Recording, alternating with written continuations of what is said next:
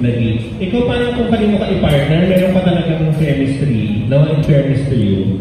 So, kamusta yung... Ha? Ha? Ano? Huh? Chemistry, I think. Ano? May chemistry... Ano ba? Are you with us, Carlo? Balik, balik. Ano nga, oh, so kamusta working with Nadine at ano, parang in fairness to you nga, kahit kayo maka-partner, parang madali ka magkaroon ng chemistry sa mga leading ladies mo. Talaga ba? Ako sa'yo. Ah, working with Nadine, sabi ko nga very ano siya, professional.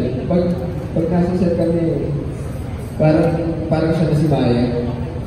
Tsaka, hindi ko alam na for her size, malakas pala siya kumain. Tsaka kasi mahilig kami pareha sa music. So, yun, natulog sa akin ng mga music. Sobrang ano, parang walang alangan. Parang very komportable na kami sa isa't isa. Simula pa. Ano naman mga paniniwala mo, Carlo, sa mga tikbalang na ganyan? Well, mga kwento-kwento lang ng mga, yun nga, sa, sa probinsya. Pero never pa kasi ako, ano, nakakita. Pero yun nga, naniniwala rin ako na sa sobrang laki na ng mundo, hindi naman pwedeng tao lang yung naninirahan. Baka hindi na talaga sila nagpapakita. Wow. O, si ano naman, Marco? Marco, parang support ka ba dito?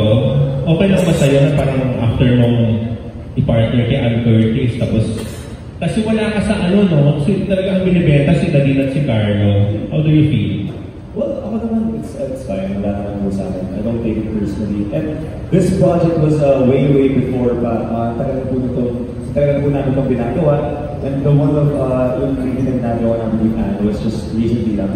So ako, I, I don't, hindi naman po sa akin big deal if nasa post na or wala. Basta as long as I'm here sa movie na to and uh, I did my part, I did my role. Happy na ako to be part of this. And uh, of course, yung first movie ni Nadine without James, uh, it's also a big privilege na makasama siya. And uh, makasama sa project to, and of course with director Carlo. So I'm I'm happy with the experience. I'm happy with uh, the working relationship na na-establish namin dito. Although si never siya naka-excel dito. So yun, sayang lang, but uh, happy ako. Ano naman na-discover mo kay Nadine? Kung kay Carlo malakas kumain, ikaw ano? Nalaman. kasi, uh, lagi kami nagkakasama dito, pero hindi sa work. So parang nakakapanibago daw no, na first time namin mag-work together.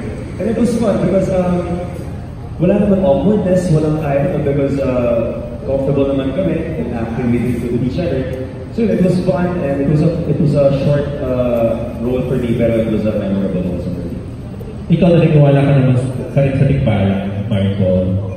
Well, same with them. Uh, since I haven't seen a Tikbala, I can't say naniniwala ako because syempre, sometimes uh, kailangan mo siya makita para maniwala ako. Pero naniniwala rin ako sa mga ano, sa mga superstitions, uh, sa mga kasabihan natin sa mga probinsya. So, it was also interesting na may ganitong twist or may ganitong kwento sa movie ito. Thank you.